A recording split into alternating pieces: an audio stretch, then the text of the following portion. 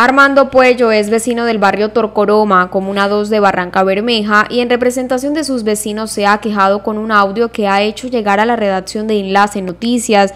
Una de sus quejas tiene que ver con este depósito de basuras.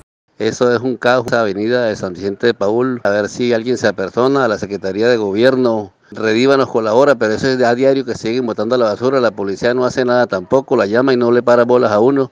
La otra queja de este vecino tiene que ver con la ocupación del espacio público en el sector de la plaza de Torcoroma, un tema de nunca acabar.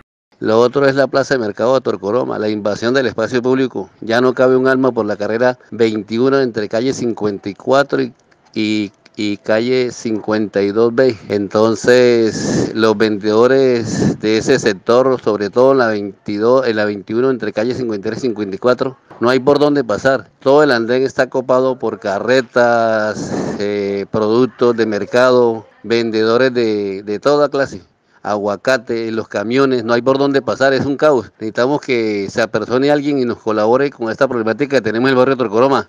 Los ciudadanos con su queja esperan que haya atención de las autoridades para superar esta problemática, pero más allá de las autoridades, el llamado es a la misma comunidad a tener cultura en su comportamiento ciudadano.